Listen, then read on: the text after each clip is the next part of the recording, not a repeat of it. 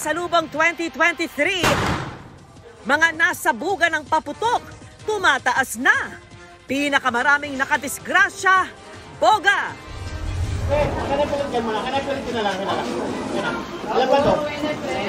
Mga batang gumagamit ng takaw, disgrasya, ring bed at gun, pinagsisita ng mga otoridad.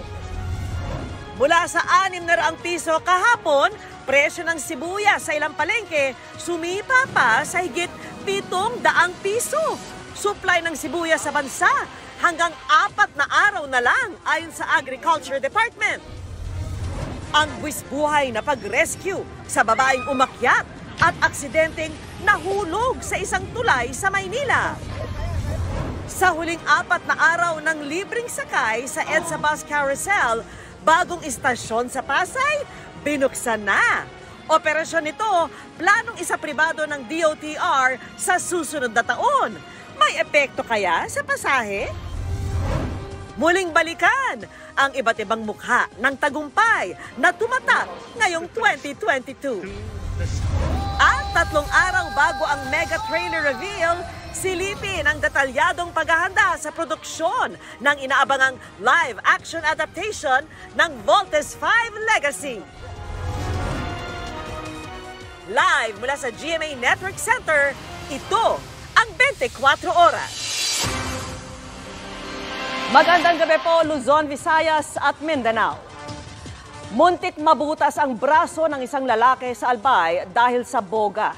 At sa buong bansa, boga pa rin ang pinakamaraming nakadisgrasya habang palapit ang salubong 2023. Ang bilang nila umakit na sa 32 ayon sa Department of Health. Kaya naman may mungkahi ang kagawaran. Tinutukan niya ni Salima Refran. Kulang na ng dalawang daliring sasalubungin ng tricycle driver na si Rex Galiendo ang 2023. Naputulan kasi ng mga daliri si Rex nang pulutin ang hindi pumotok na whistle bomb sa isang inuman sa Bago City, Negros Occidental. Wiso lang gin ano nila mong palupok nila tin kumasa sa pinsar ko mahunye pa ni so, dos minutos pagaboy gin ko akon kag ko ihaboy ko lang bigay layo-layo lang daw. When naghuni mo to lumupok ba yun? Yamba ko lang sa mga kwan hindi. Subong magkuan sa ligsali sa palupok kay masyado ka sensitibo wala nga ning factory defect. Whistle bomb rin ang nakadisgrasya sa isang lalaki isinugod sa Southern Philippines Medical Center sa Davao City. Duguan ang kamay ng lalaki na ibinyahi pa mula sa Island. Paso at sugat lang ang tinamo ng 20 anyo sa lalaking ito nang masabugan ng 5-star sa Legazpi City sa Albay. Magang mga kamay mula sa paso ng pumutok na kwitis naman ang tinitiis ng pitong taong gulang na bata sa Pamplona, Camarines Sur. Pero mas malala ang mga sugat ng 15 anyo sa lalaking ito sa Daraga, Albay. Sumabog na boga ang muntik ng bumutas sa braso ng binata. Sa tala ng Department of Health, boga na ang nangungunang sanhi ng pagkasugat ngayong salubong 2023. Sa 32 naitalang fireworks-related injury sa buong bansa mula December 21, labing isa ang dahil sa boga. Sunod dito ang whistle bomb at 5-star wala pa namang naitatalang fireworks ingestion o stray bullet injury. Ang Tondo Medical Center sa Maynila handa na para sa pagsalubong sa bagong taon. Malaki raw ang posibilidad na tumaas ang bilang ng mga mapuputukan ngayon mataas ang posibilidad na dumami ang mga kaso ng mga firework-related injuries. Uh, isa sa mga dahilan possibility ay uh, nakapag-adjust na yung mga tao sa new normal. Two years din tayong hindi nakapag-celebrate uh, ng bagong taon as usual. So I think ito yung pinaka uh, uh, peak na yung mga tao yung magse-celebrate.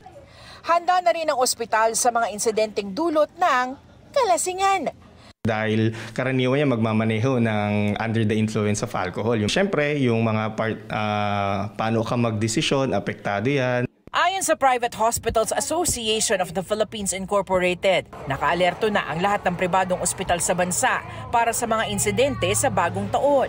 Ang Department of Health patuloy sa pagpapaalala laban sa paggamit ng mga paputok. Umiwas po tayo sa paggamit nito. Maari pa tayong gumamit ng mga alternatibo na paraan para magkaroon ng kasiyahan sa darating na bagong taon. Umiwas po tayo sa paputok, umiwas po tayo sa injury, especially for our children. Para sa GMA Integrated News, Sanima Refran, nakatutog 24 oras. At eto pang takaw disgrasya rin, mga laruang pellet gun na posible pang makabulag. May mga nangumpiska ng ganyan sa isang barangay sa Quezon City pero tinakbuhan sila. Nakatutok si Marisol Abduraman, exclusive. Mga nagbebenta ng iligal na paputok at pellet gun ang target ng mga tauhan ng barangay Old Balara sa kanilang pag-iikot sa mga tindahan sa bangketa kanina. Wala namang nakita mga iligal na paputok at pellet gun sa mga tindahan ngayon. Pero pagpasok sa mga kabahayan sa looban, natsempuhan ang mga batang ito na naglalaro ng pellet gun. Bigla silang nagtakbuhan nang makita ang mga taga-barangay. Pero hindi sila tinantanan ng mga taga-barangay.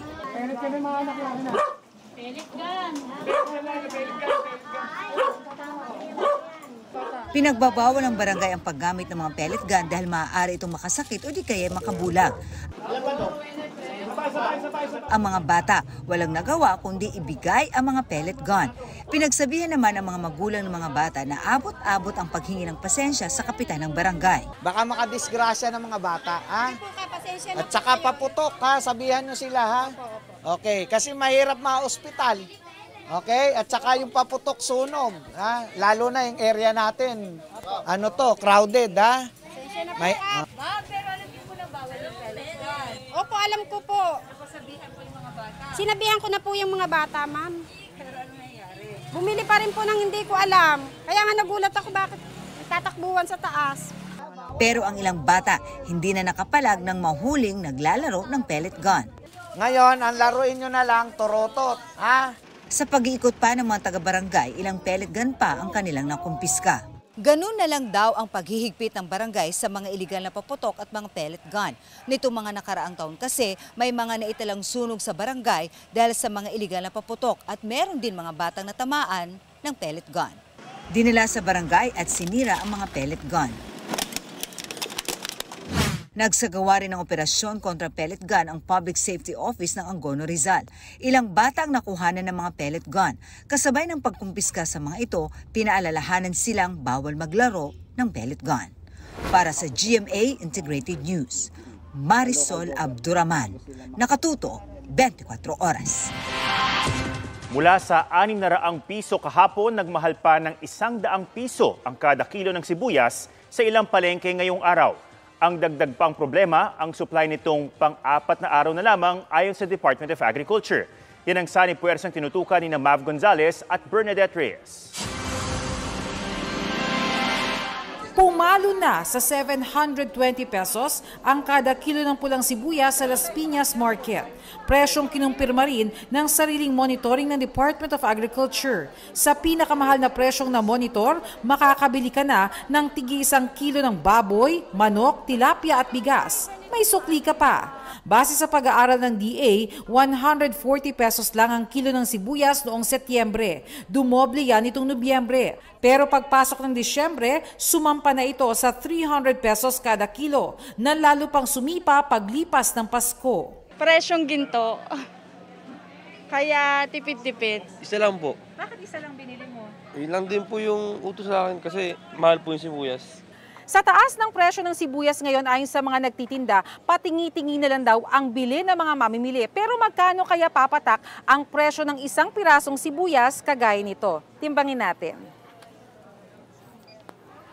Yan. So ang sibuyas may bigat na 60 grams. I-compute natin sa 720 pesos kada kilo. Wow! Ang isang pirasong sibuyas kagaya nito mabibili sa halagang 43 pesos and 20 centavos. Kahapon, ang puhunan po eh 560. Ganto po laon. Ngayon, kanina, nung dinala ng faktura ng dealer, 680 na po. Pero sa katabing pwesto ni Aling Josephine, 600 pesos lang ang kilo. 600 lang kasi ano siya, sariwa pa siya, yung bagong ani pa siya. Magkakambas siyempre yung mga mamimili. Kukuha sila ng mas mura. Nakikipag-ugnayan na ang DA sa mga onion farmers para makapagbenta sa palengke at sa mga kadiwa stores ng mas abot kayang sibuyas simula December 30.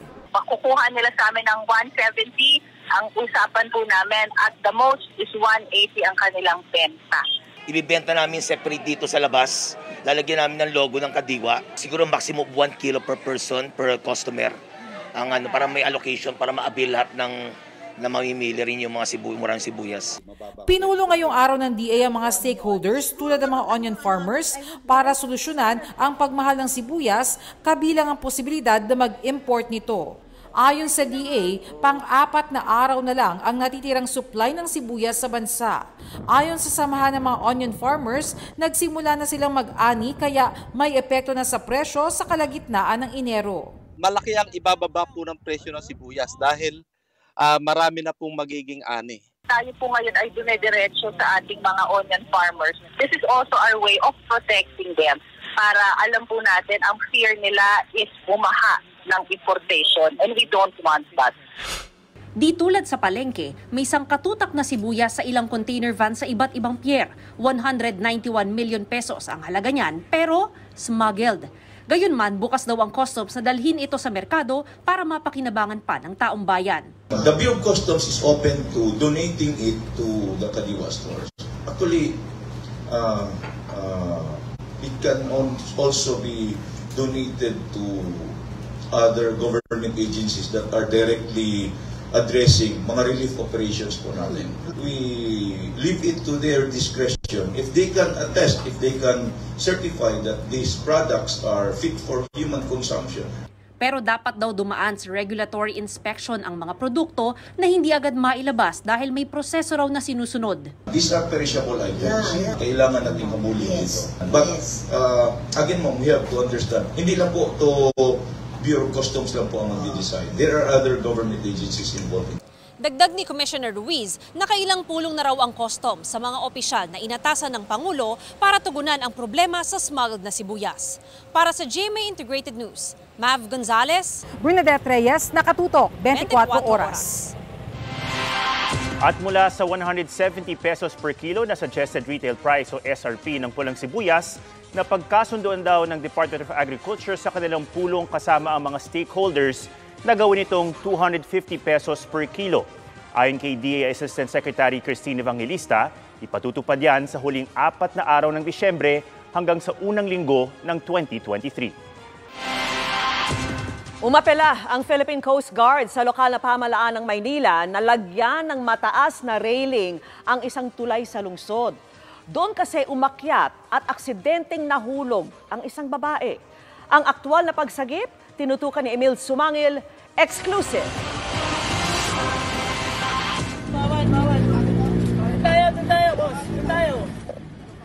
Kinakausap ng rescue team ang babaeng ito na sumampa sa gilid ng Binondo Intramuros Bridge nang aksidente itong mahulog.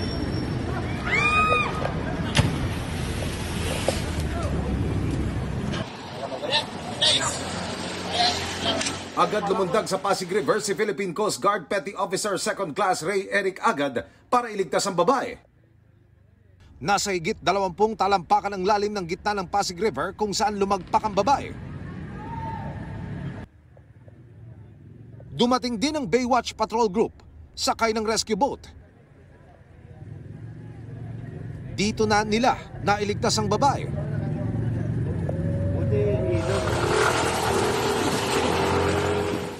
Katuwang sa rescue operation ng Bureau of Fire Protection Manila na siya namang nagsugod sa biktima sa ospital. Meron silang nakaantabay na ambulansya at medics. Ito'y binigyan ng paunang lunas at agarang dinala sa Philippine General Hospital. Ayon kay Agad, nagja-jogging siya noon malapit sa tulay nang madaanan niya ang insidente. Tawag ko sa sir, dinala ko sa gilid. May malay naman sir, magsagot man sa akin sir. Sinabi ko, ah ma'am, relax lang. Dalhin kita sa gilid. Pero nag ano naman sir, nag-response naman siya sir. Inaalam pa kung bakit naroon ang babae sa gilid ng tulay. Muling mungkahi ngayon ng Coast Guard sa lokal at national government. Lagyan o taasan ng railing ang mga tulay sa ibabaw ng Pasig River para sa kaligtasan ng mga nagdaraan. Ako ka palayo pang hindi na. Samantala, sa karagatang sakop naman ng San Jose Antique, Nasakit din ang lalaking nahulog naman mula sa ikatlong palapag ng passenger vessel na naglalayag mula Cuyo, Palawan patungong Iloilo City. Kapwa nasa ospital na ang mga nailigtas. Para sa GMA Integrated News, Emil Sumangil, nakatutok, 24 oras. Out na raw ang pamaypay at in ng jacket at kumot dahil sa tagos sa butong lamig sa ilang lugar. Yan nga mismo ang dinarayo ng ibang humahabol sa pamamasyal, tulad sa isang lugar na tinutukan live ni Mark Salazar. Mark, nasa ka ba? Atom, tayo na sa Antipolo City. Ito yung pinaka mabilis at pinakamalapit na akyatan ng mga taga Metro Manila na gusto magpalamig o gustong mag-outfit of the day gamit yung kanilang mga jacket at bonnet o kaya naman ay mag-Christmas feel kung uh, makakachempo ka ng fog. Lamig-lamig oh. Ang ganda pa ng tanawin. Enjoy na enjoy ang grupong ito na galing Tondo sa kanilang outing dahil maganda nga naman ang view ng Metro Manila mula dito sa Antipolo. Mahangin pero nasa 25 degrees lang naman ang lamig sa pakiramdam, sabi ng AccuWeather. Galing Caloocan naman ang mag-inang Salvacion at Russell na kumasa sa challenge ng sikat na suspension bridge ng Cloud9. Lamig na, sarap na ng ano. Kaya medyo inaano-ano pa namin yung panahon. Nalasap muna namin kasi pagdating na ng January, balik trabaho na ulit. Team Marikina naman ang magbabarkadang ito na pang antipolo raw muna ang kaya ng budget. Kaya hindi makakapunta sa kanilang dream destination. Ang Baguio City kung saan bumaba sa 12 degrees Celsius ang temperatura kahapon. Bagamat kanina, nasa malamig pa ring 13 degrees Celsius. Para lampas po Marikina. Kasi lagi po kami nasa Marikina eh. eh. Nakita rin po namin siya sa social media po. And yung nagandaan rin po kami. Ito naman ang mga empleyadong galing pa sa Quezon Province pero dinayo ang Antipolo.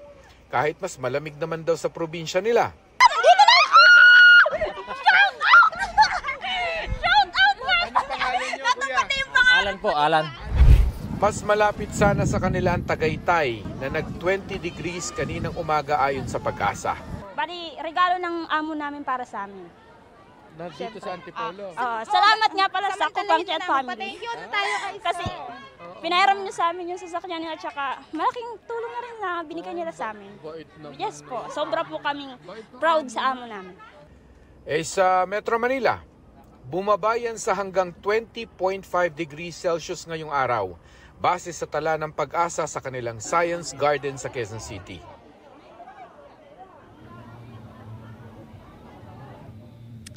Kung saan man yung gala ninyo, depende sa layo o sa kakayanan ng inyong budget. Uh, kalimitan naman ang saya niyan ay nasa kasama, hindi ba?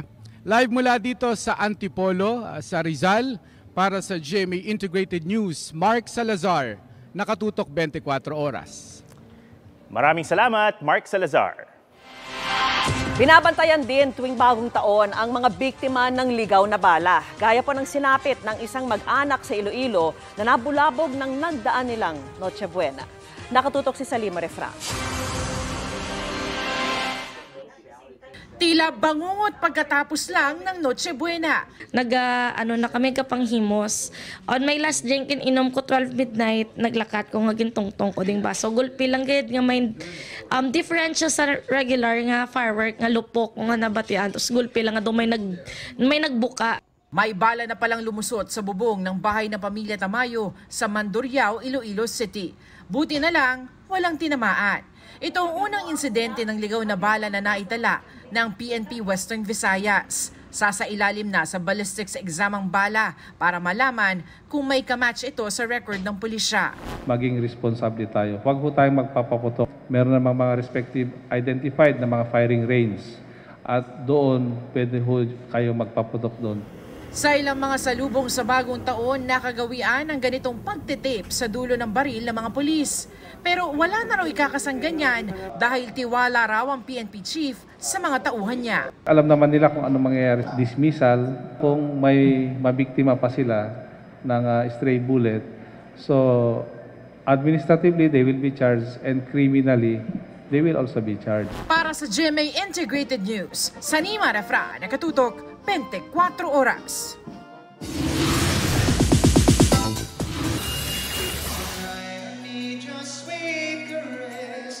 Marami raw ipinagpapasalamat si Asia's romantic balladeer Christian Bautista ngayong 2022. Bukod sa malakas na pangangatawan, thankful si Christian na makapiling pa ang mga kaibigan at mga mahal sa buhay. Tuloy-tuloy din ang kanyang singing gigs sa Pinas at abroad. Naniniwala si Christian na magiging exciting ang 2023 ng lahat. Extra exciting din para kay Christian ang 2023 na kanyang 20th anniversary sa showbiz. Pinaghahandaan niya ang kanyang Thanksgiving concert na The Way You Look at Me, nagaganapin sa Samsung Performing Arts Theater Makati sa January 28. Uh, we're gonna obviously reminisce uh, through music, through my music in the past 20 years. Uh, hopefully, some of my friends uh, from, from the past 20 years in the industry will be able to go as well para we can uh, connect and reconnect as well. And uh, most importantly, it's, it's a Thanksgiving also for the fans. Dahil malaking parte din ng career ni Christian ang kanyang fans abroad. Magpe-perform din si Christian sa Indonesia sa Pebrero for Valentine's. I'm just so happy that they welcomed me and my music dati pa and up to now. Babalik na rin ang The Clash Season 5 at para kay Christian, mataas daw ang kanyang expectations. I'm really expecting a fighting spirit sa mga clashers. Kasi eto na eh, parang I salute yung mga yung mga clashers during the pandemic na went to the studio with tests every day. Now it's more open. So talagang kailangan makita ko talaga yung fire burning sa kanila. Reunited din sa Season 5 ng The Clash with Christian with his fellow judges na sina Lani Misalucha at Ay Ay de las Alas. Bukod sa musika, may isa pa raw goal si Christian next year. I want to have more businesses na I want to expand more sa businesses or side hustles or projects. Something na pandemic proof. it can be food, it can be real estate, it can be uh, through the gi- digital scene. Katatibayan, updated sa showbiz happenings. At kasunod ng mga hamon at mga issue, mga mukha naman ng tagumpay ang mga newsmaker na babalikan natin ngayong Merkules. Unahin po natin ang atletang tinalon ang mga iniharang sa kanyang hamon, pati ang muntik pang pagtanggal sa kanya sa Philippine team.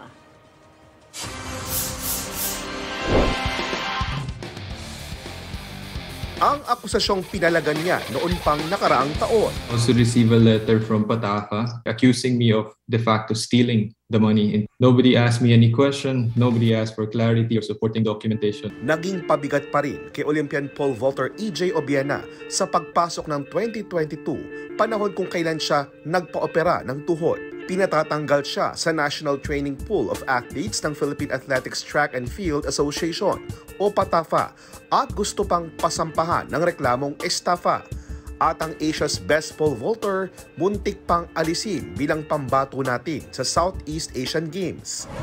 Pero nakahanap ng kakampi si Obiena sa Philippine Olympic Committee.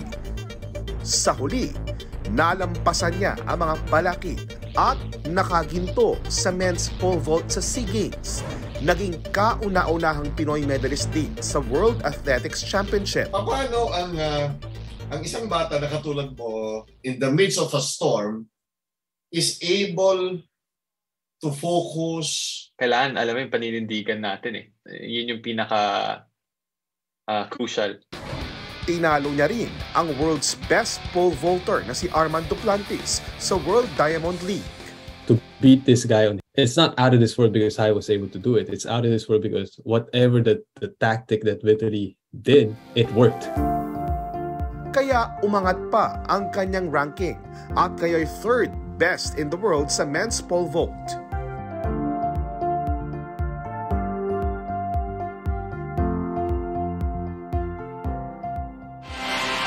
At abangan nyo dahil tayong mga Pilipino may dalawang napagtagumpayan ngayon.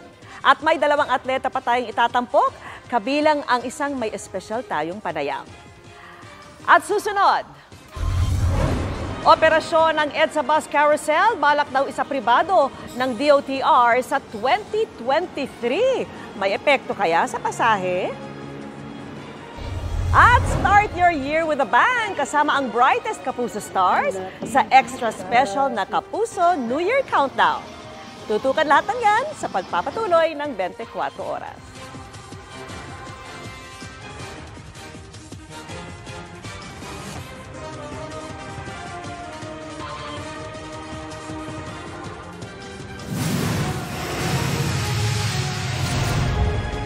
Kasabay ng pagpapalit ng tao ng bagong bihis na drama sa hapon.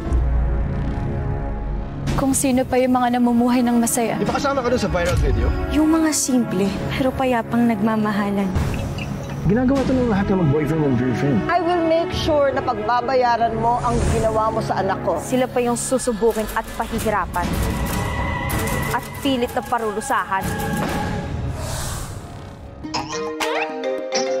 Uy, magagandang dilag. Marami sa inyo, kwento rin ito. Nagmahal ng todo, pero matagal na palang niloloko. Ako ang babaeng muling mag-aahon sa sarili. Kukuha kami ng egg cell sa'yo, tapos ihalo namin sa sperm cell ng asawa mo. Kapag nagkaanak na tayo, I'll have more reason to fight this cancer. Kung akala mo na maagong pa sa akin si Bobby, nagkakamali ka. I'm sorry, Aileen. I'm really sorry.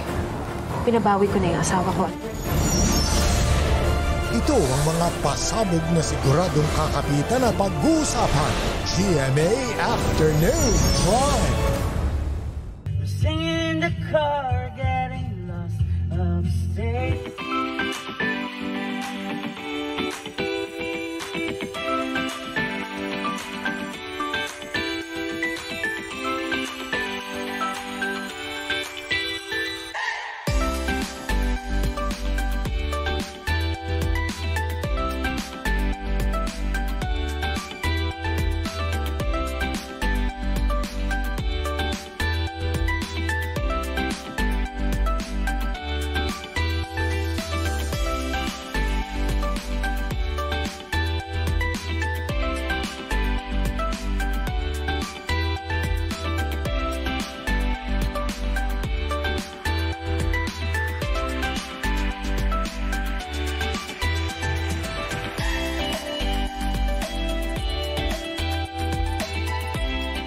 Practice-practice lang eh.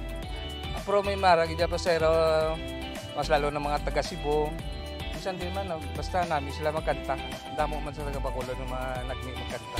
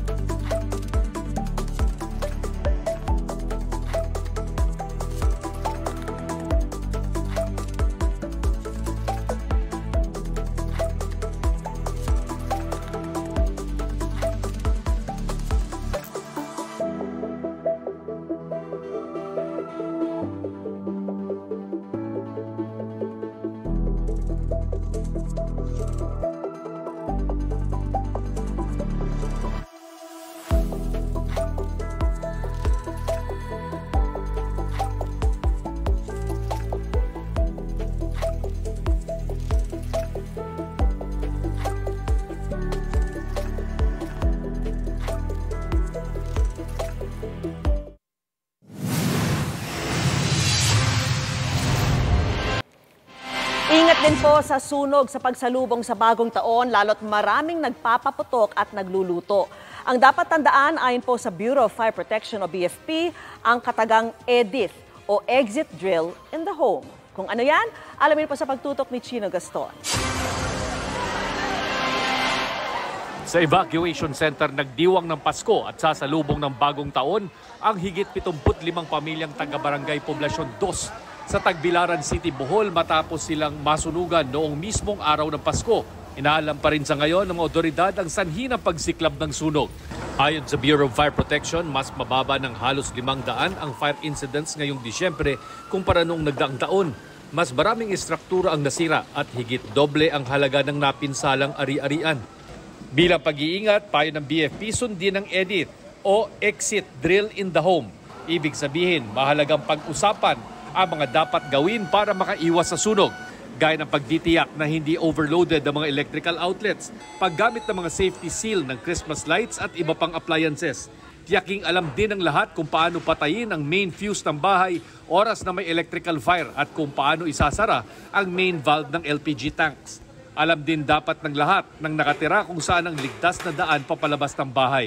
Nakikita po natin based sa mga investigation ay uh, electrical ignition, uh, nandyan din yung smoking, nandyan din yung uh, prone sa ngayon this, uh, this season dahil sa kaliwat na ng pagluluto. Yan po sana ang maging uh, aware po tayo lalo na we know what to do Halos lahat ng bahay ngayon inoobliga ng magkaroon ng fire extinguisher bilang pang kontra sa sunog.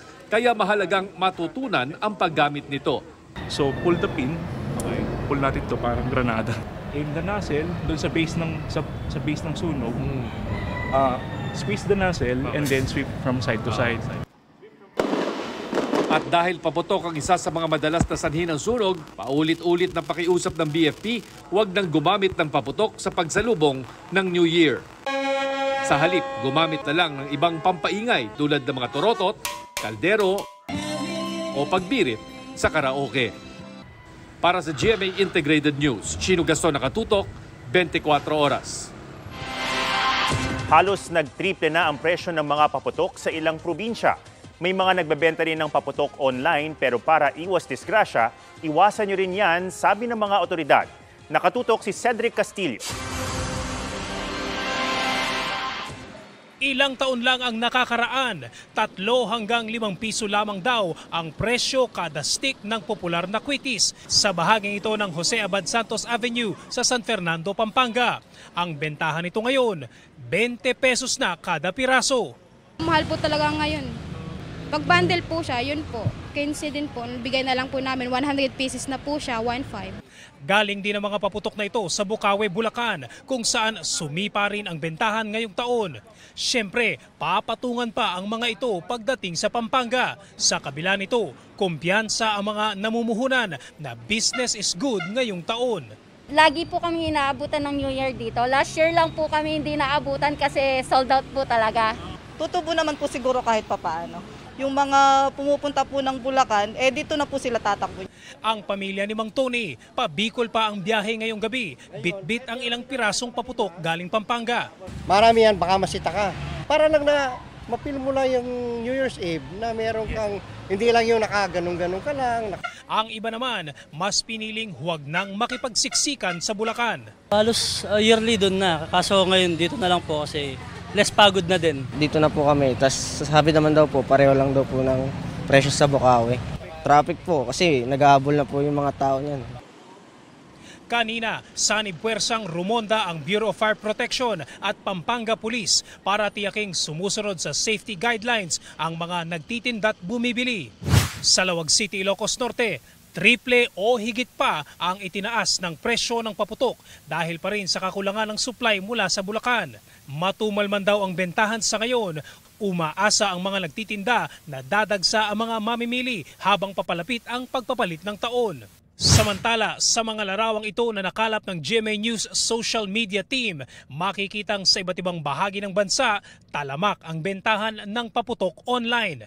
Kapansin-pansin na ilan sa mga paninda kabilang sa mga ipinagbabawal na paputok. Paulit-ulit na panawagan ng mga otoridad, huwag nang tangkilikin ang mga paputok at mga pailaw na ibinebenta online dahil hindi raw matiyak kung saan galing ang mga ito at kung totoo ang mga label, hindi raw matitiyak ang kaligtasan ng mga mamimili. Para sa GMA Integrated News, Cedric Castillo nakatuto, 24 oras. I am ready! GMA Weather, serbisyong totoo ng GMA News. Mga kapuso, magiging maulan pa rin sa ilang bahagi ng bansa dahil po yan sa low pressure area at hanging amihan. Sa layong 210 kilometers silangan ng Surigao City, huling namataan ng LPA. Hindi pa rin inaalis ng pag-asa ang posibilidad na mabuo yan bilang bagyo. Pero lumakas man o manatili pa rin LPA, magpapaulan pa rin ito sa ilang bahagi ng Southern Luzon, Visayas at Mindanao. Patuloy naman ang pag-iral ng amihan. Base po sa datos ng Metro Weather, uulanin bukas ang Mimaropa, Calabarzon, Bicol Region at ilang lugar sa Northern at Central Luzon. May matitinding ulan po kaya maging ayam ready sa banta ng baha o pagguho ng lupa. Posible ring ulanin ang ilang lugar sa Metro Manila bukas. Sa Visayas, may pag-ulan lalo sa may Samar at Leyte provinces, pati sa Negros at Panay Island. Bahagyang mababawasan naman ang malawakang pag-ulan sa Mindanao bukas ng umaga. Pagsapit naman ng hapon, muling bubuhos ang ulan sa Zamboanga Peninsula, Northern Mindanao, Soxargen, Caraga at Davao Region. Patuloy na abiso naman sa mga mangingisda o may maliliit na sasakyang pandagat, magiging maalon at delikadong pumalaot sa malaking bahagi ng Luzon at ilang baybayin sa Visayas at Mindanao. Susunod, silipin ng world-class at detalyadong paghahanda sa produksyon ng inabangang Voltes 5 Legacy. Sa pagpapatuloy ng 24 oras.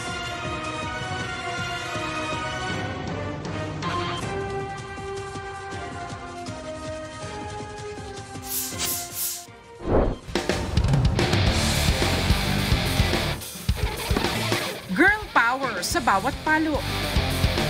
Si Alex Iala nag-uwi ng mga ginto mula Southeast Asian Games at higit pa. Ngayong taon, iniukit ng 17 anyo sa si Alex Iala ang Pilipinas sa kasaysayan ng World Tennis.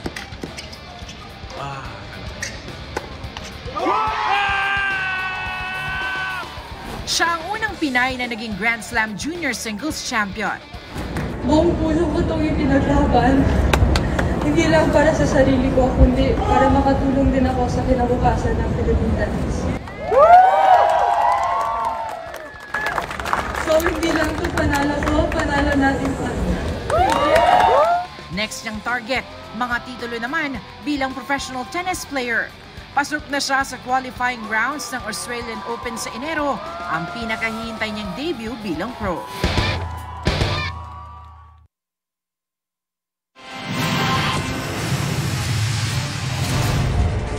Totoo po ba na may pamana po yung tatay natin at inangkin niyo po? So you're determined to sue Lily? We're both suing her. Mom, New Year's coming. Dapat New You din. Magkakaayos pa ba sila? Kailangan tayo magkasundo-sundo. Do it for peace. Hindi ako member ng United Nations para isulong ang kapayapaan. Anjet, what is mine from Atsi sa sarili kong paraan? Han, what the... Na hindi ka kasama! What do you... Han, what do you mean? Po Legacy, The Flower Sisters. Lunes hanggang biyernes na pagkatapos ng Maria Clara Tibara.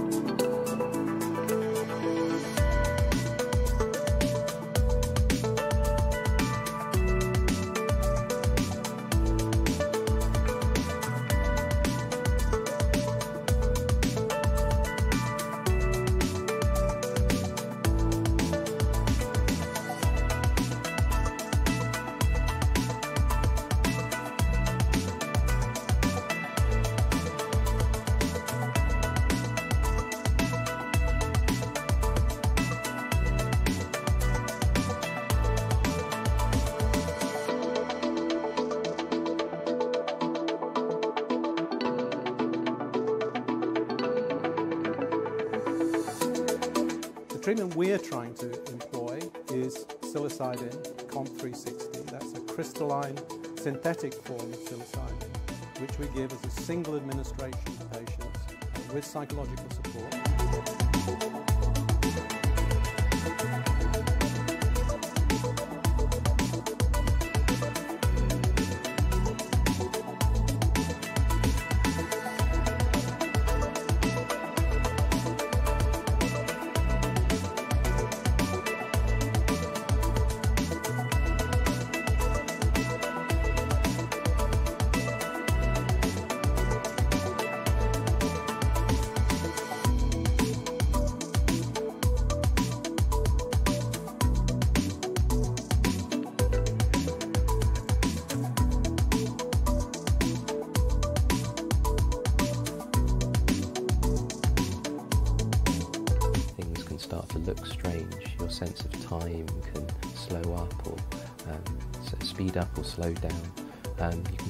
strange sensations going through your body um, and strange experiences.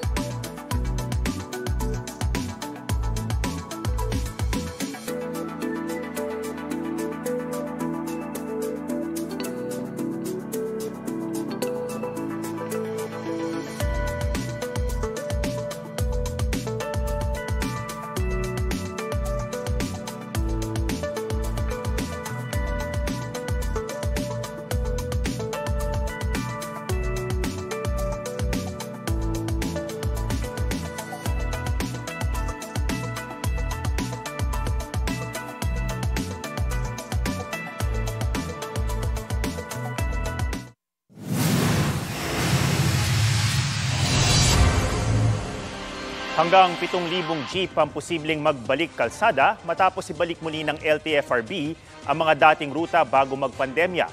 Laking ginhawa daw ito para sa mga pasahero na hindi na raw mahihirapang maghanap ng masasakyan. Nakatutok si Sandra Aguinaldo.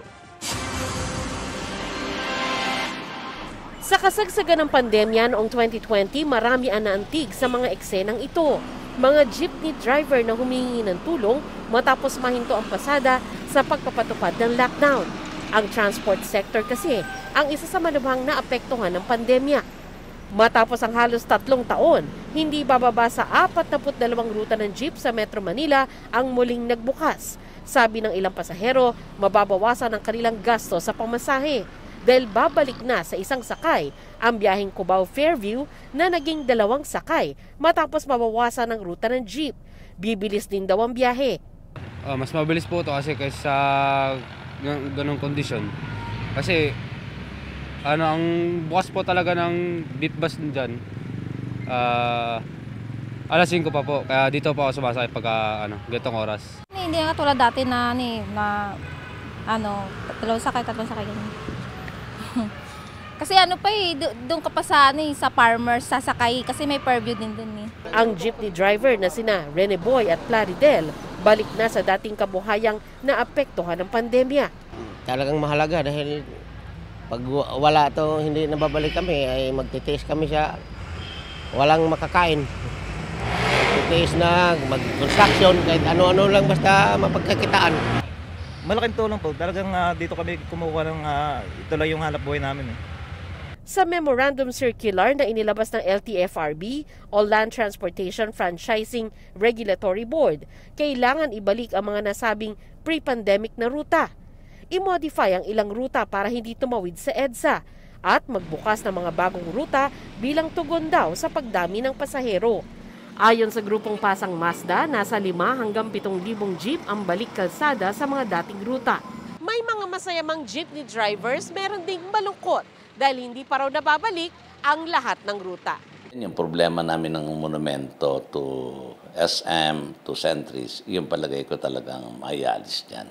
In spite of our pakiusap na ma- maritim, kasi thousand of uh, commuters din ang sineserve namin dyan.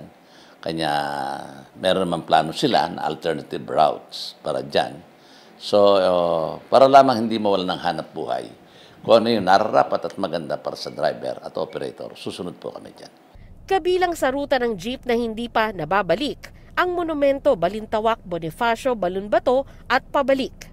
Kaya ang mga pasahero na 12 pesos lang sana ang pamasahe hanggang sa monumento, nagiging 40 pesos daw dahil naging dalawa ang sakay.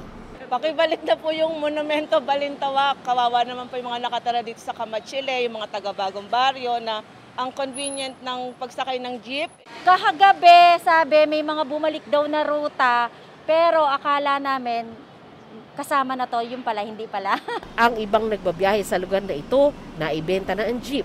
Logi po kasi kami dun sa binenta namin. Nabili po kasi namin ng 300,000. Nabenta lang po ng 100. Tapos yung driver? Wala na din po. Namasukan na po sa ibang kumpanya. Ayon sa LTFRB, kakaunti na lang ang rutang hindi pa na ibabalik. Pero nagpapatuloy raw ang pag-aaral para sa route regionalization. Kaya binalik muna natin ang mga pre-pandemic route. Uh, dahil nga po, uh, ongoing pa yung route rationalization mm-hmm. ng LTFRB. But there are some evaluated routes na ng aming uh, uh, planning division. Mm-hmm. Uh, we, we can consider it as uh, talagang mga priority routes siya. Mm-hmm. So kasama rin sa naka-open ngayon. Ito na yung mga route na pwede natin masabi na part na ng rationalization. For convenience, no? Uh, at saka marami talagang pasahero na yun. Para sa GMA Integrated News, Sandra Aguinaldo nakatutok, 24 oras. Puno pa rin ang aberya ang ikalawang araw ng SIM registration kaya mapapasana all kayo sa dalawat kalahating milyon na subscriber na officially registered na. E anong mangyayari sa mga bagong SIM na hindi pa rin marehistro? Sinubukan yan at tinutukan ni Ian Cruz. Sa ilang beses na pagsubok ni Rose Ann Muleta na mag-register ng SIM mula kahapon, hanggang take photo lang daw siya umaabot. Kaya next time na lang daw niya ito ipaparehistro. Total, katapusan pa naman ng Abril ang deadline. Baka next week na, na po. Baka mas maayos na po yung link next week. Baka po mas konti na yung gumagamit. Pero si Adrian Andaya, success ang pag-register ng SIM sa Dito Telecom Unity na may pinakakonting subscribers sa ngayon. Clinic ko lang, nilagay ko yung mga details ko and then nanghingi lang siya ng ano ng selfie tsaka photo ng ano copy ng ID. Tapos pagka okay ko ayun na completed na. Ang postpaid subscriber na si Rene Salta naman, sumagot lang daw siya ng yes sa mensahe ng Smart Communications at rehistrado na ang SIM niya painless yung registration. Uh, napakabilis. Sandali lang talaga, mga 2 minutes. Pero kami, bigo pa rin iparehistro ang mga biniling bagong SIM kahapon. Ang dito, hindi nagpadala ng link sa registration site. Ang Smart, hanggang sa take photo lang din. At sa Globe Telecom, hindi rin ma-access ang server. At nang tawagan ang mga number ng mga bagong SIM. Ayan, oh, nag-ring. Ibig sabihin, itong SIM na yan ay de-deactivated. Ayan, subukan naman natin itong isang uh, SIM. Ayan oh, nakalagay sa kanya, call failed. So, ibig sabihin nga, hindi activated itong uh, SIM na yan. Ayun, gumagana.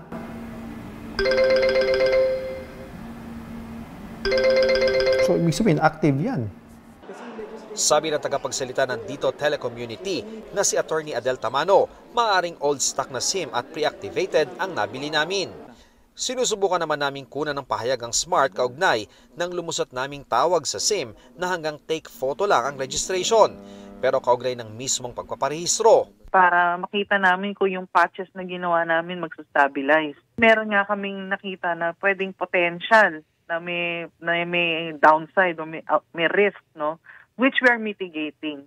Paalala ng DICT sa mga telco, i-recall ang mga lumang SIM at tiyaking deactivated na ang mga bagong biling SIM.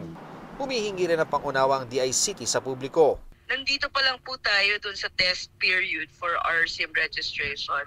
We ask um, uh, a little more patience po sa ating mga kababayan uh, but we promise you that after the 15-day period, magiging mas uh, okay po sa kabila raw ng mga aberya, halos dalawat kalahating milyon ang nakapagparehistro base sa mga latest na bilang na nirelease ng mga telco.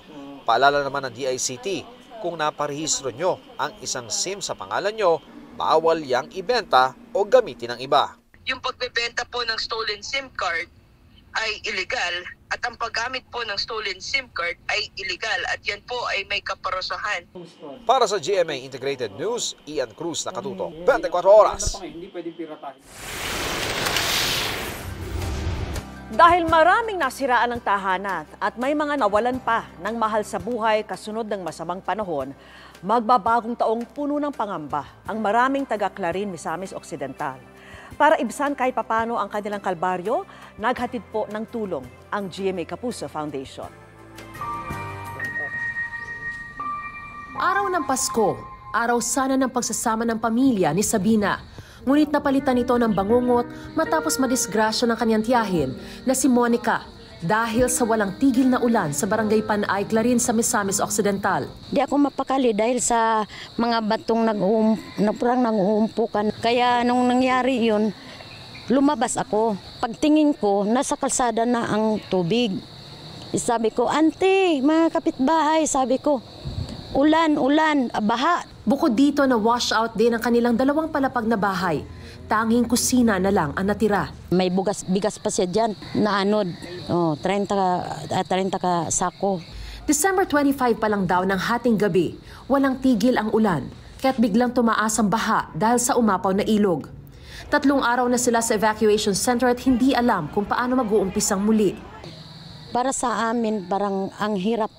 Ngayong ngayong New Year, hindi namin alam kung magkakaraos pa kami o Agad na nagtungo ang GMA Kapuso Foundation sa munisipalidad ng Clarin para maghatid ng mga food packs sa mga evacuees.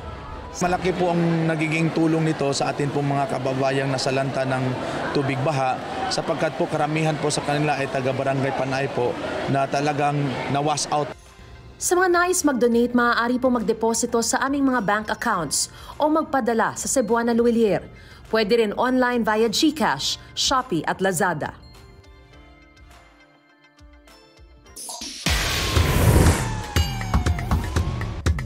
Mahalaga ang senior high school diploma para sa mga gustong magtrabaho o mag-enroll sa kolehiyo. Kaya naman problemado ang isang graduate na hindi raw maisyuhan ito dahil sa naiwan mo ng balanse sa tuition. Idinulog yan sa sumbungan ng bayan. Abril taong 2019 pa nagtapos sa senior high school si John Mar Gray sa Global Academy of Technology and Entrepreneurship sa Santiago City sa Isabela.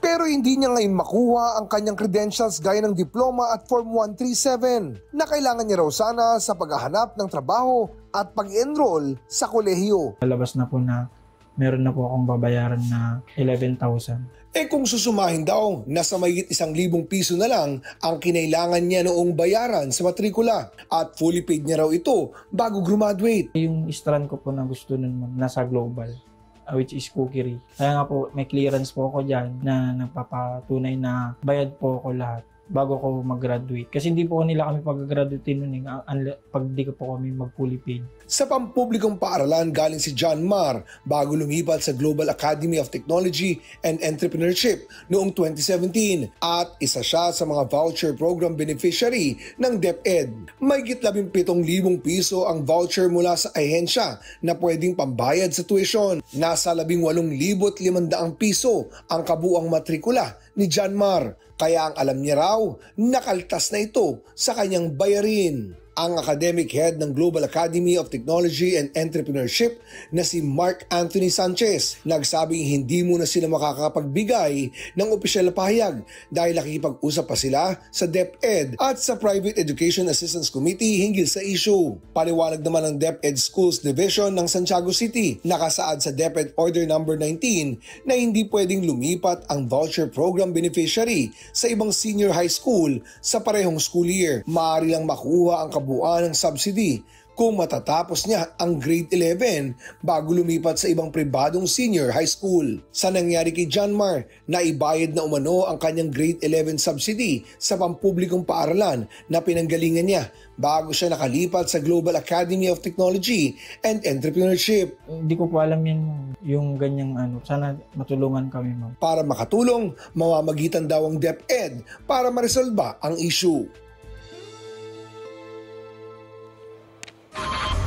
At tutukan ang ilan sa mga hamong na pagtagumpayan ng itinuturing na golden boy ng Philippine Gymnastics, Carlos Yulo. Tuloy-tuloy ang pagtutok dito lang sa 24 oras.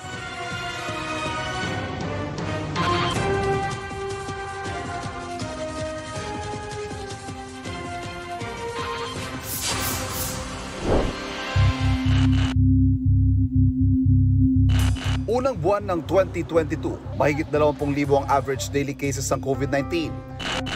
Ang dahilan, Omicron subvariant. Ang ilang ospital na puno ng mga COVID patients. Pero pagsapit ng Pebrero, kasabay ng pagkaunti ng mga nagkaka-COVID, unti-unti nang niluwagan ang COVID restrictions. Masayang masaya po, kuya. Pauwi po ng maayos. Nagsimula na rin ang pagtuturok ng ikalawang COVID booster sa ilan at pagbabakuna sa mga bata. It lowers the possibilities or the risks of me catching the virus. Para secure na rin sa pamilya namin. Ngayong taon din ginawa ng optional ang face mask sa maraming pagkakataon at bumalik ang face-to-face classes. Mas lalo ko pong maintindihan po yung mga lessons. Pati mga pagtitipon gaya ng mga in-person graduation. Pagbisita sa mga sementeryo ng undas. Mga kapistahan.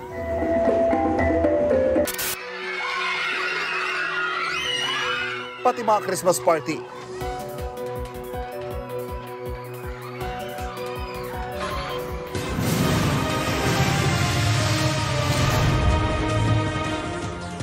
Sampung pangarap na ang unti-unting lumiliwanag. Kaninong pangarap naman kaya ang ngayoy matutupad? Meet our third batch of Clashers. Clar Wepingo from Cavite. Irene Shervo from Laguna. Lara Bernardo from Marikina. Mark Avila from Naga. And from Tarlac, Jerome Granada. Clash Nation, we're halfway there. Abangan ang susunod na batch na papasok sa The Clash. Isa, laban sa lahat. Hip hop with non-stop in-court action with GMA Sports. Catch the latest sports news here and round the globe. Be thrilled with conversations about the finest athletes and sports personalities. Is this it? Yes! And Mamuski with a 1-2 is now down to just six. And never miss a beat on the latest hardcore drama. We'll bring you stories behind each point and victory, one play at a time. Follow our official social media handles for your daily fix of hype and adrenaline. Online, GMA Sports.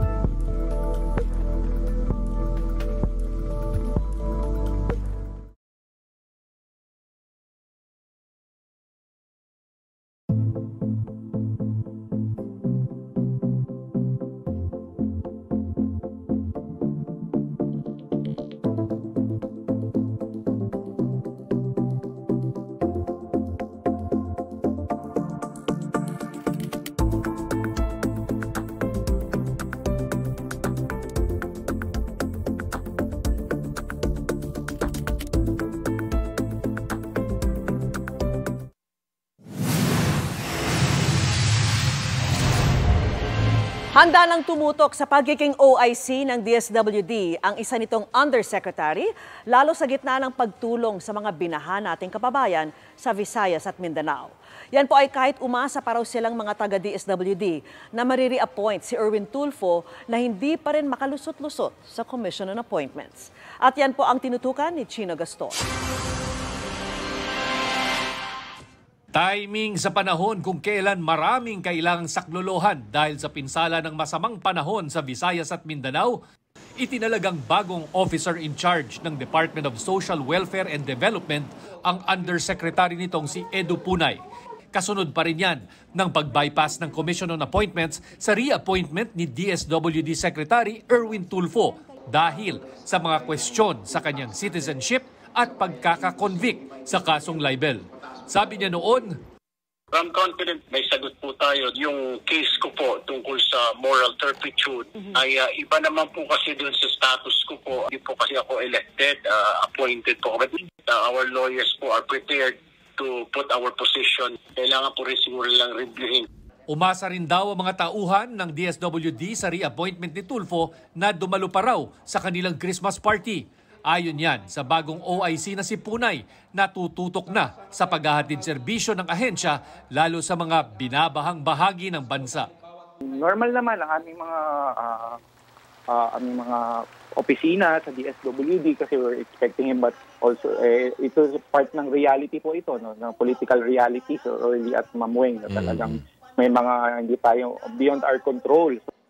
Tingin naman ng political analyst na si Dindo Manhit, mahirap lagpasan ang mga nasilip na pagkukulang umano ni Tulfo.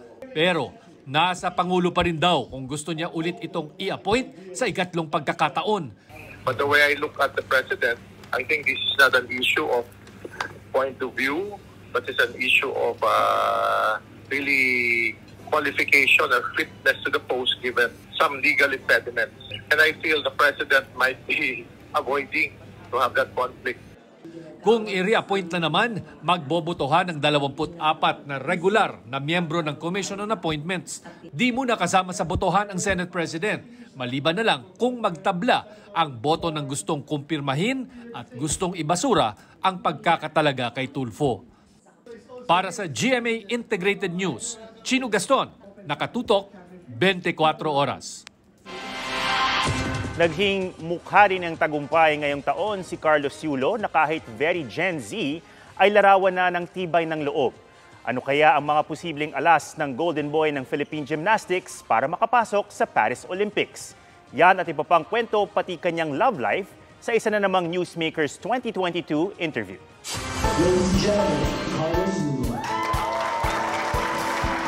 Kaliwat ka ng parangal ang naiuwi ngayong taon ng Golden Boy ng Philippine Gymnastics na si Carlos Yulo. Sa 2022 World Artistic Gymnastics Championships sa Liverpool, England nitong Nobyembre, siya ang itinanghal na vault silver medalist. Bronze naman sa parallel bars. Pero aminado ang 22-year-old gymnast na hindi naging madali ang mga hamon sa naturang kompetisyon. Yung medals parang bonus na lang din po siya.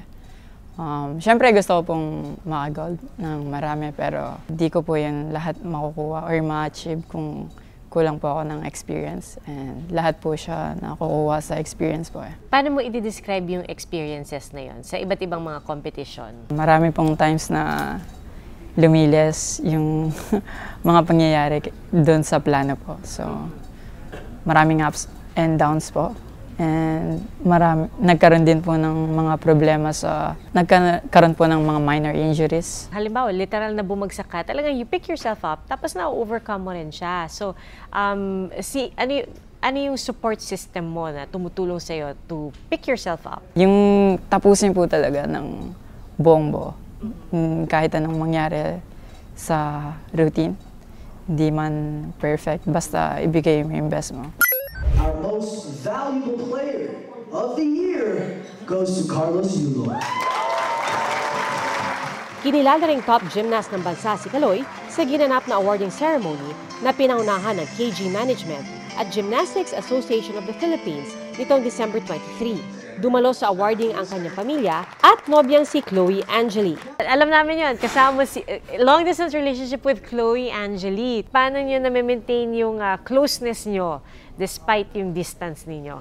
Yung pag-update po siguro, palagi. Ano yun?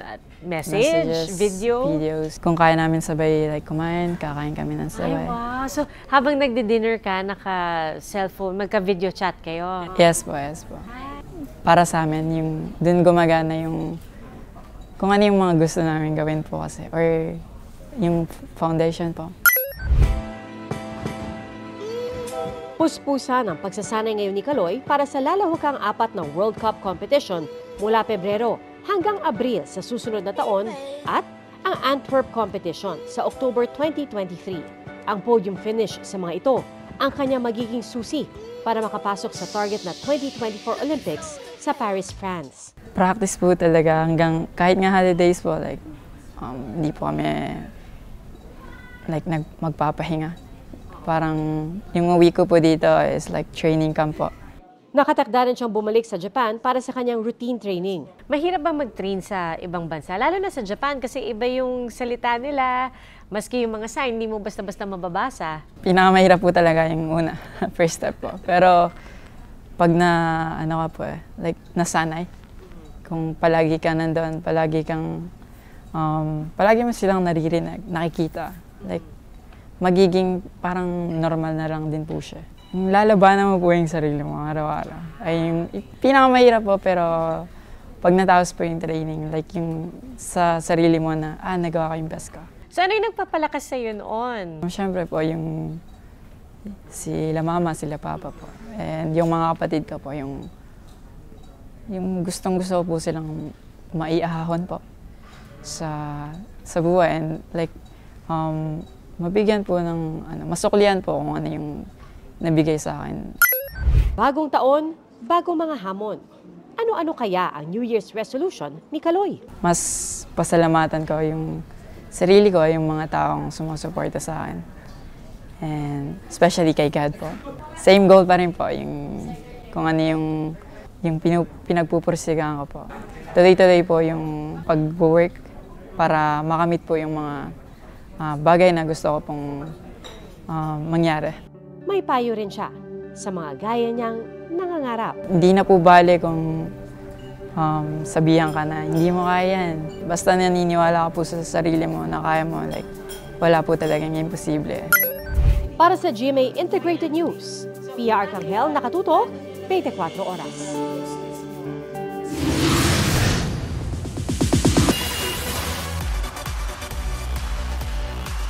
Extra special ang countdown ng Kapuso Network this year, ang Kapuso Countdown 2023 Gayo Day John this Saturday night. Kasama dyan ang pinakamaningning na Kapuso at Sparkle Stars tulad na Julian San Jose, River Cruz, Christian Bautista, Barbie Forteza, Kailin Alcantara, Ruru Madrid, Dasuri Choi, Derek Monasterio at Sanya Lopez. At ang cast ng Love is Caught in His Arms. Hindi rin mawawala syempre si Asia's multimedia star Alden Richards na always present sa GMA Kapuso Countdown for 12 years. Wala akong palya sa New Year Countdown ng GMA since I started here. And uh, yun nga, nakakatawa na since talagang balik na tayo sa normal, yung mga uh, on-ground events natin, uh, it's another opportunity for us you know, to celebrate life as well. Kasi 2023 na, may special watch party pa ng Gayo Daejeon Music Festival sa Korea kung saan magpe-perform ang big Korean pop groups tulad ng NCT 127, NCT Dream, ITZY, and Hypen at marami pang iba. Ito lang yung uh, showcase of talents and kung gaano na uh, anong nangyaring evolution over time sa Pinoy entertainment. So we're very excited to be, you know, performing with uh, a lot of new artists And uh, syempre, andito pa rin kami, mga old school kapuso. Pero yung, yung ang daming na-hone, ang daming na-develop, and ang daming nating na-discover na mga performers na you know, nakakapagbigay ng bagong flavor. Very remarkable ang taong 2022 ni Alden. Ang daming hardships, daming discoveries, but uh, at the end of the day, it's all about uh, you know, achieving your dreams, yung, yung goal mo yung kahit pa paano, kahit hirap na hirap ka, kahit ang daming hurdles in between, daming roadblocks in between, uh, I was able to get through it. Bukod sa Philippine adaptation ng hit Korean series na Startup, isa rin sa highlights ng kanyang taon ay ang pagtayo ng sariling kumpanya, ang Myriad. Everything entertainment. So, we do line, produ- uh, line productions, we do live events, uh, yan nga, concerts, tapos we also do esports as well. Yung esports, ako yung, uh, ano ko yun, department ko yan. Kamakailan naging very successful ang Eraserheads concert kung saan isa ang myriad sa mga producer. Bukod dito, may mga kinakasaring TV and movie projects for Alden for next year.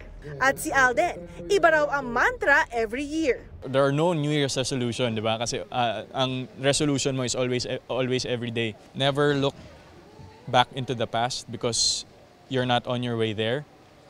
Uh, focus ka lang sa kung ano nangyayari sa iyo ngayon. It's always about the next step. Uh, of course, there's a goal. Pero sometimes kasi yung, des, yung journey mo papunta dun sa goal masyado pang malayo and very vague yung journey. Pero if you're able to see your next step, then yun muna yung sundan mo and then eventually you'll end up with your goal. Katatibayan, updated sa showbiz happenings.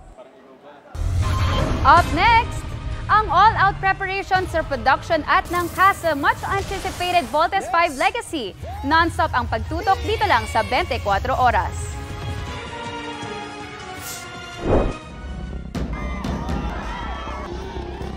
Matapos ang mainit na kampanya sa buong bansa,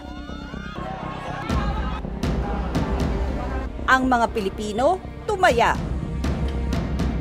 Di nagpapigil kahit kabi-kabila ang aberya. Paano kami nandun kami na wala kami number? Tulad ng mga nasirang vote counting machines. How will I be able to get yung receipt ko? At mga insidente ng karahasan. Sir, sinira nila yung banokan! Eh, nakako, maraming nagpapataw.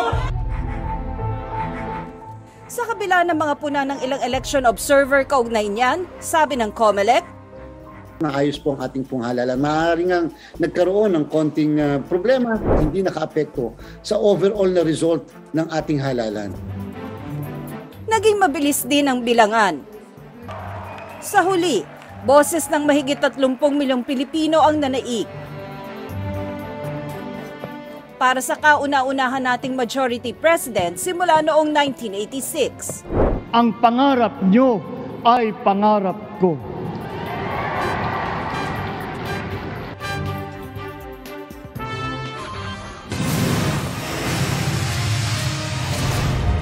The greatest singing battle is back. Magsisimula na ang pangmalakasang tagisan ng boses at talento. Sorry to stop you, Iho. Let's go to your next song. This is no ordinary competition.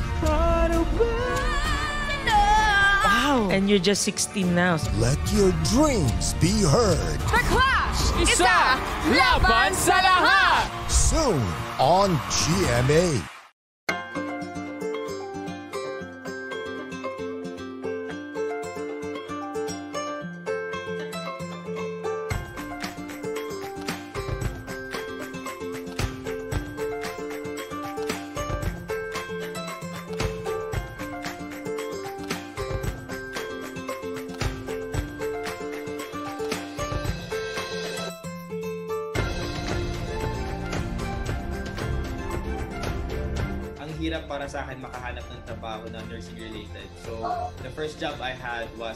Was as a barbecue boy. Have to find a new job. And doon po ako nakapasok sa fish market. That helped me support my tuition fee, my rent, my, my everyday expenses.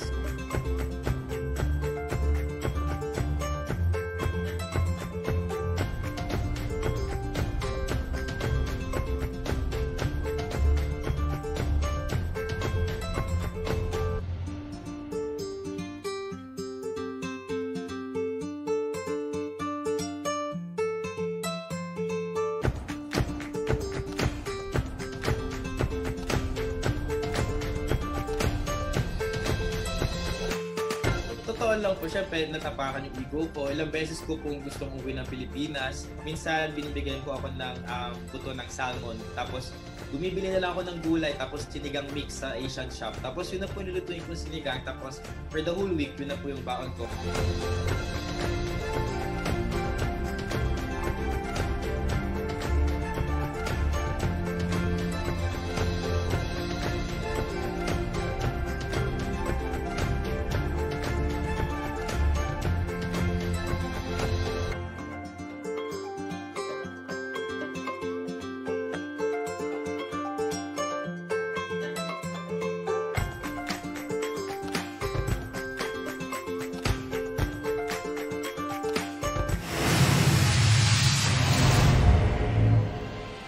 Nasa mga evacuation center pa rin ang maraming sinalanta ng mga pagbaha at landslide sa Mindanao ilang araw bago ang bagong taon.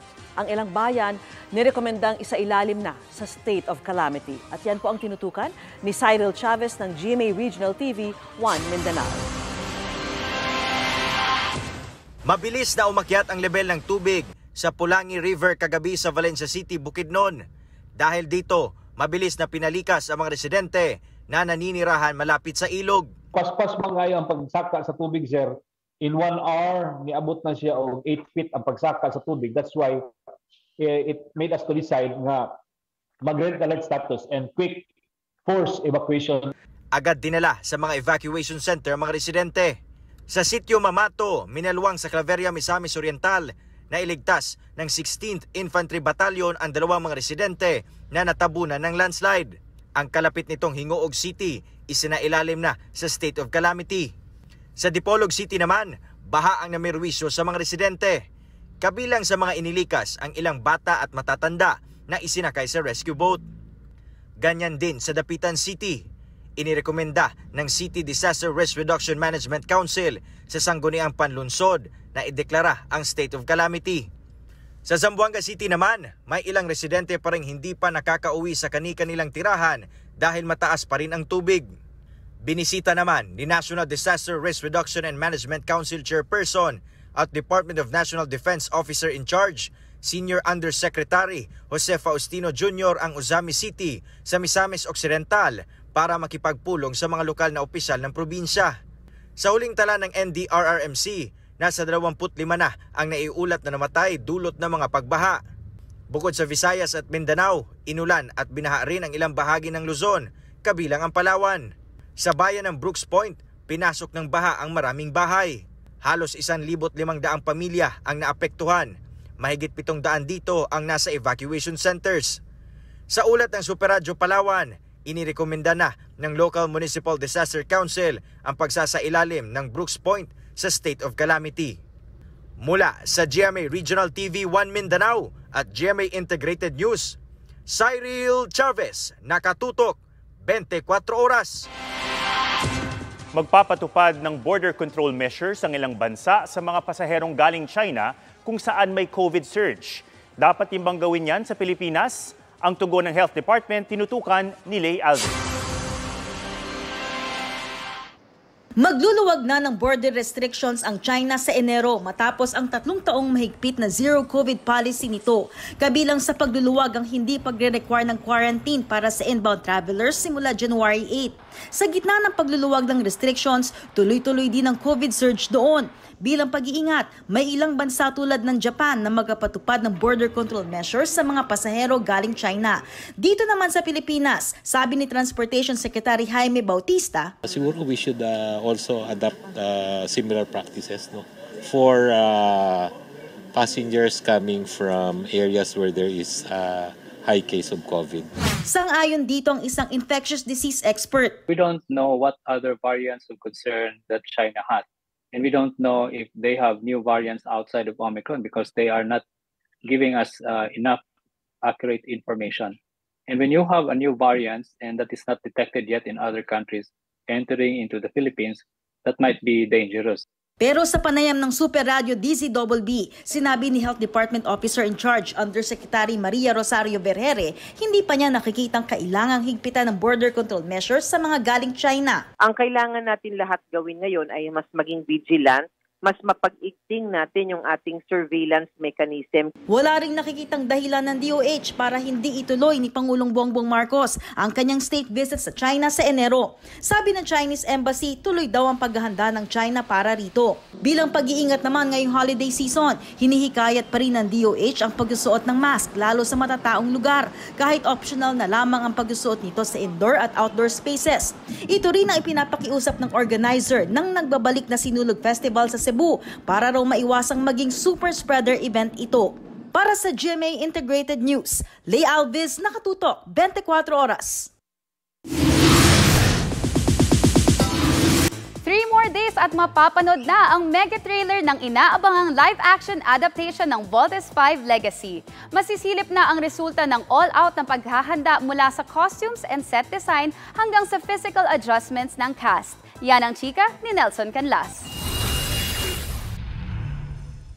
Attention to detail. Yan ang tall order habang ginagawa ang live-action adaptation ng hit anime series na Voltes 5.